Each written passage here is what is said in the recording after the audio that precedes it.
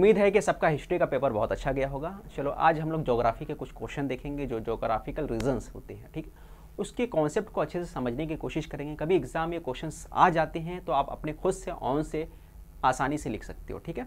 चलिए स्टार्ट करते हैं पहले क्वेश्चन से। अगर आप चैनल पर नए हैं तो मैं यही बोलूँगा टेलीग्राम चैनल को ज्वाइन करिए। वहाँ पे प्रीवियस ईयर जो क्वेश्चन है, उसका पीडीएफ मैं अपलोड कर दूँगा, ठीक है? तो वो क्वेश्चन जो रहेगा सॉल्यूशन के साथ रहेगा। चलिए ये क्वेश्चन जो है आपका दिसंबर 2020 में आया हुआ क्वेश्चन है। ठीक है? तो चलो देख लेते कैसे करना है इसको। Snowfall doesn't always occur in Brazil हमेशा जो आ, आपका स्नोफॉल ब्राज़ील में नहीं होता। क्यों नहीं होता? उसके रीज़न देखते हैं पहला point Brazil is tropical country पहला पॉइंट आपको याद रखना है कि ब्राज़ील कैसा कंट्री है? ब्राज़ील एक ट्रॉपिकल कंट्री है। ये वर्ड याद रखना है। कैसी कंट्री ट्रॉपिकल एक बार आप दोहरा दो। हाँ? बिल्कुल हाँ। जबान पे वर्ड आना चाहिए। Tropical country second point since Brazil has a vast latitudinal extent इसका वास्ट क्या है? लेटिट्यूडिनल जो है लेटिट्यूडिनल एक्सटेंट है। बहुत फैला हुआ है लेटिट्यूड में। Therefore it is experience a great range of climate changes इसकी वजह से इसको एक्सपीरियंस करना पड़ता है great change of climate climate का चेंजिंग इसको एक्सपीरियंस करना पड़ता है। It is very hot as well as cold in Brazil इसलिए ब्राज़ील में कभी कभी हॉट भी होता है और कोल्ड भी होता है, दोनों ही होते हैं, ठीक है? तो हमको क्या समझ में आया? पहला ही समझ में आया, पहला पॉइंट कि ब्राज़ील जो है एक ट्रॉपिकल कंट्री है और काफ़ी लेटिट्यूडनल क्या हो गया? काफ़ी फैला हुआ एक्सटेंट है, जिसकी वजह से यहाँ का क्लाइमेट लगातार चेंज होते रहता है। इसलिए कभी कोल्ड होता है, कभी हॉट होता है। जैसे इंडिया में इंडिया में तो बारिश भी होते रहता है तो ऐसे ब्राज़ील में भी बारिश होते रहता है बट यहाँ पे हॉट और कोल्ड लिया है। The average temperature of Brazil is between 18 to 28 Celsius temperature की अगर बात कर ले तो ब्राज़ील में जो टेम्परेचर है, वो 18 से लेकर 28 तक है 18 से 28 तक है throughout the year the kind of temperature is not suitable for snowfall और ये टाइप का जो टेम्परेचर होता है, वो स्नोफॉल के लिए सुटेबल बिल्कुल भी नहीं है. क्लियर हो गया? मेरे ख्याल सबको समझ में आ गया होगा. आगे बढ़ते हैं. Snowfall does not always occur in the Brazil इसलिए स्नोफॉल वहाँ पे अकर नहीं होता। क्लियर तो सारे पॉइंट्स मैंने कर करके बता दिया। पहले में क्या था? ट्रॉपिकल कंट्री दूसरे में क्या था? लेटीट्यूड की बात किया, फिर उसके बाद बोला कि क्लाइमेट लगातार चेंज होता है, उसकी वजह से कभी हॉट होता है, कभी कोल्ड होता है। फिर आगे बोला कि भाई वहाँ का टेम्परेचर जो होता है, अठारह से लेकर 28 तक होता है, जो कि सूटेबल नहीं है स्नोफॉल की वजह से। स्नोफॉल के लिए, इसलिए यहाँ पे स्नोफॉल हमेशा नहीं होता। है अगला question there are fewer natural है ना? Ports on the eastern coast of India बहुत फ्यू जो है नेचुरल पोर्ट्स जो है इंडिया के अंदर है। ये क्वेश्चन जो है दो बार पूछ चुका है। मार्च 2019 दिसंबर 2020 में पूछा हुआ क्वेश्चन है। चलो इसको समझने की कोशिश करते हैं इस क्वेश्चन को। There are fewer natural ports on the eastern course of India due to the following reason यहाँ तक सेम लिखा और ड्यू टू करके रीजन लिख दिया। अब देखो यहाँ पे eastern course of India borders the Bay of Bengal eastern coasts की बात करेंगे तो बे ऑफ़ बंगाल की बात करेंगे। यानी जो आपका बंगाल का एरिया है ना बंगाल हो गया, तमिलनाडु हो गया और वहाँ पे आंध्र प्रदेश का जो इलाका है, आंध्र हाँ आंध्र प्रदेश का जो इलाका है, वो हो गया, उड़ीसा हो गया, ठीक है? तो Bay of Bengal and has form a result of depositional work of rivers, है ना? Due to gentle slope of land slope of land की वजह से क्या होगा कि रिवर जो फ्लो करता है लोअर वेलोसिटी लिवर जो रिवर का फ्लो होता है, काफ़ी स्लो होता है है ना? And deposit the sediments at the coast. और उसकी वजह से सेडिमेंट्स कहाँ होते हैं? कोस्ट के ऊपर डिपोजिट होते, जमा होते। सेडिमेंट्स का मतलब होता है मिट्टी के टुकड़े हो गए, या फिर जो छोटे छोटे अपने रॉक्स हो गए छोटे छोटे पार्ट है ना? पत्थर वगैरह, ये। As result deltas are found along this coast और इसकी वजह से क्या होता है? डेल्टास फाउंड होते हैं। डेल्टास यानी समंदर के किनारे का जो एरिया होता है, वहाँ पे मिट्टी का जो तोदा होता है ना, मिट्टी का टुकड़ा जो होता है बड़े बड़े वो दिखते हैं। ठीक है? ऐसा कुछ रहेगा आपका। इस तरीके से पार्ट बना रहता है, ठीक है? इस तरीके से पार्ट बना रहेगा। एंड मैक कोस्ट सैलो और उसकी वजह से कोस्ट जो होता है सैलो होता है, काफ़ी थोड़ा सा उठ जाता है, गहरा नहीं होता।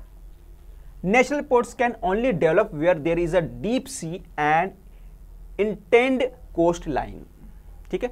और नेचुरल पोर्ट्स वहीं बनते हैं जहाँ पे सी लेवल काफ़ी गहरा होता है। ये बात आपको याद रखना है क्लियर चलो आगे बढ़ते हैं अगले क्वेश्चन की तरफ़। Rain forest in Brazil are rightly called lungs of the world ठीक है? जो वहाँ पे फॉरेस्ट होते हैं, उसको लंग्स ऑफ़ द वर्ल्ड क्यों बोला बोला जाता है ब्राज़ील को? क्योंकि यहाँ पे बहुत ज़्यादा जंगल है, उसकी वजह से बोला जाता है। क्या क्या वजह देख लेते हैं? Evergreen forest forest are found in the region where there is a heavy rainfall throughout the year evergreen forest कहाँ पाया जाता है? वही पाया जाता है, जहाँ पर साल भर बारिश होती है। ठीक है? जहाँ पे हैवी रेनफॉल होता है थ्रो आउट द ईयर यानी साल भर जहाँ बारिश होती है वहीं पर एवरग्रीन फॉरेस्ट पाया जाता है। Due to the evergreen rain forest in Brazil large amount of oxygen is release in environment बहुत ज़्यादा बारिश की वजह से क्या होता है? Large amount of oxygen release होता है। ऑक्सीजन कब रिलीज़ होगा? जब बहुत ज़्यादा वहाँ पे क्या होगा? फॉरेस्ट होगा।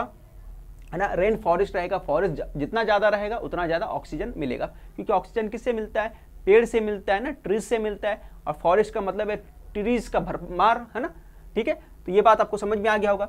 This reduce the carbon dioxide levels in the environment अब इससे क्या होता है? ये क्या करता है? रिड्यूस करता है कार्बन डाइऑक्साइड को कम करता है और ऑक्सीजन को बढ़ाता है। इसकी वजह से क्या बोलते हैं? ब्राज़ील का जो फॉरेस्ट है, उसको लंग्स ऑफ़ द वर्ल्ड बोला जाता है। क्लियर हो गया? आगे बढ़ते हैं। In Brazil majority of population is found in the eastern coastal areas Brazil में ईस्टर्न कोस्टल एरियाज़ क्या बोला है? मेजोरिटी पॉपुलेशन क्या कहाँ पाया जाता है? ईस्टर्न कोस्टल एरियाज़ में मेजोरिटी पॉपुलेशन पाया जाता है। ये भी मार्च, दिसंबर 2020 का क्वेश्चन पूछा गया था।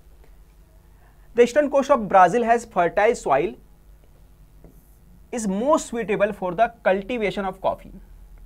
क्या बोल रहा है? ईस्टर्न कोस्टल एरिया जो है, वो काफ़ी फर्टाइल है, जरखेज है है ना? और मोस्ट सुइटेबल है, किसके लिए? Cultivation of coffee. कॉफ़ी की कल्टीवेशन के लिए काफ़ी क्या है? सुइटेबल है। तो दो, पहला पॉइंट है, इसको चाहो तो दो पॉइंट बना सकते हो। पहला पॉइंट क्या है? वो कोस्टल एरिया क्या है? काफ़ी फर्टाइल है। और सुइटेबल किसके लिए? कल्टीवेशन ऑफ़ कॉफ़ी के लिए। Second point this region is rich in minerals ये रीजन क्या है? मिनरल्स के लिए रिच है, काफ़ी मिनरल्स पाया जाता है। और क्या है? पावर रेगुलर पावर सप्लाई भी है वहाँ पे। ज़ाहिर सी बात है रेगुलर पावर सप्लाई रहेगा तो पानी वगैरह का भी इंतज़ाम किया जा सकता है। There is also excellent transport facility और ट्रांसपोर्ट फैसिलिटी भी है। ज़ाहिर सी बात अगर ट्रांसपोर्ट फैसिलिटी होगा तो किसान वगैरह जो होते हैं, अपने फ़सल वगैरह को शहर में ले जाके बेच सकते हैं। There is a hot and humid climate और क्लाइमेट कैसा है? वहाँ का हॉट भी है ह्यूमिड भी है। जैसे मुंबई का क्लाइमेट हॉट और ह्यूमिड है। Regular water supply and fertile soil for cultivation in this region और रेगुलर जो है वाटर सप्लाई और फर्टाइल सॉइल जो है कल्टिवेशन इन दिस रीजन तो इसके वजह से काफ़ी फ़ायदा मिलता है, ठीक है? Due to all about region majority of population is found in eastern coastal areas of Brazil अब इसी वजह से जो कोस्टल एरियाज़ में क्या होता है? ज़्यादा से ज़्यादा पॉपुलेशन पाया जाता है। है ना, इस क्वेश्चन लिया मैं। ठीक है, समझ में आ गया? तो क्या क्या रीजन था? पहला, अपने को समझ में आ गया कि भाई वहाँ का फर्टाइल सॉइल है, अब उसकी वजह से कॉफ़ी की कल्टीवेशन में आसानी होती है। सेकंड पॉइंट समझ में आया कि वहाँ पे पावर सप्लाई जो है रेगुलर है, और क्या है एक्सलेंट ट्रांसपोर्ट फैसिलिटी भी है। तीसरा पॉइंट क्या समझ में आया कि वहाँ का जो मौसम है है ना क्लाइमेट जो है कैसा है ह्यूमिड है हॉट है, जो सुइटेबल है फॉर है ना, रहने के लिए काफ़ी सुइटेबल है। ठीक है, ये चीज़ें अपने को समझ में आ गया। इसके बेस पे हम लोग बोल सकते हैं, अगला रीजन देके। आप पूरा का पूरा क्वेश्चन लिख सकते हो। मेरे ख्याल से आपको समझ में आ गया होगा। और पहले वाले में तो देखिए आपने क्या है है ना? ज़्यादा फॉरेस्ट की वजह से क्या होता है ऑक्सीजन रिलीज़ ज़्यादा होता है, ठीक है? चलो आगे बढ़ते हैं। There is a mix economy in Brazil Brazil में जो इकोनॉमी कैसा मिक्सड है, और इंडिया के अंदर भी। ये आपको जोग्राफिकल रीजन में पूछा है। तीसरा क्वेश्चन इसका आंसर देखो यहाँ पे है। पहला मिक्स इकोनॉमी क्या होता है? Private sector and public sector coexist ऐसा सेक्टर जिसमें दोनों को एग्जिस्ट करता है। को एग्जिस्ट का मतलब क्या होता है? पब्लिक भी हो और प्राइवेट भी हो। पब्लिक मतलब गवर्नमेंट वाला, ठीक है? तो पहला पॉइंट यही बताना है कि पब्लिक सेक्टर और प्राइवेट सेक्टर दोनों को एग्जिस्ट करता है, पहला पॉइंट सेकेंड पॉइंट क्या बताना है? In Brazil as well India the sector likes है ना? ब्राज़ील और इंडिया में कुछ सेक्टर जैसे लाइक के railway electricity production iron steel industry है ना? आयरन एंड स्टील जो प्रोडक्शन है, ये हो गया।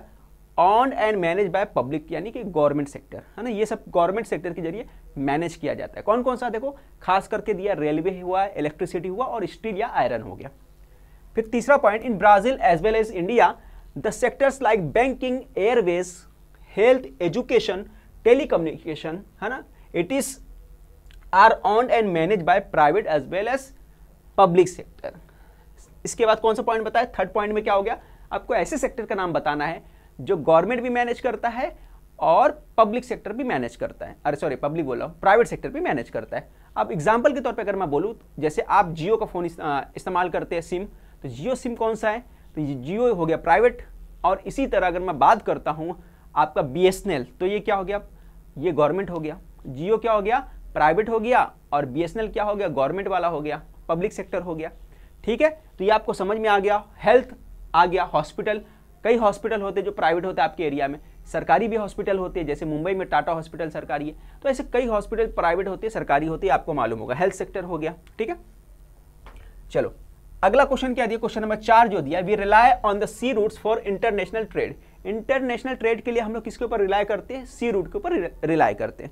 चलो रीजन देख लेते हैं। सी रूट्स या के waterways are cheapest mode of transport जो ये रास्ता सबसे चीपेस्ट रास्ता है किसके लिए? ट्रांसपोर्ट के लिए। Waterways are heavily are highly suitable for bulk transportation bulk transportation यानी बहुत ज़्यादा ट्रांसपोर्टेशन करना है तो ये बहुत बेहतर तरीका है वाटरवेज क्योंकि आप देखे होंगे कि कई कई कंटेनर भरे जाते शिप के अंदर, है ना? एक, दो नहीं, और शिप कितने बड़े बड़े होते ये भी देखे होंगे आपने, है ना? 500 मीटर एक एक किलोमीटर तक चले जाते कुछ कुछ शिप तो ठीक है? International trade goods are imported and exported on large scale large scale पर क्या होता है? इंटरनेशनल लेवल पे गुड्स और इंपोर्ट किया जाता है एक्सपोर्ट भी किया जाता है। फिर आखिरी पॉइंट क्या आता है? Sea routes country can import and export goods with minimum cost sea routes के क्या ज़रिए क्या हो सकता है? कोई भी कंट्री इंपोर्ट एक्सपोर्ट कर सकती है मिनिमम कॉस्ट पे। खर्चा बहुत कम लगेगा मिनिमम कॉस्ट पे कर सकती है। Therefore we rely on the sea routes for international trade इसलिए हम लोग इसके ऊपर रिलाई करते हैं। तो ये कुछ पॉइंट्स था, कुछ रीजंस थे जो मैंने समझाने की कोशिश किया। अगर वीडियो अच्छा लगा तो चैनल पर नए हैं तो चैनल को सब्सक्राइब करना ना भूलें और अपने दोस्तों के साथ भी शेयर करें। मिलते हैं नेक्स्ट वीडियो में।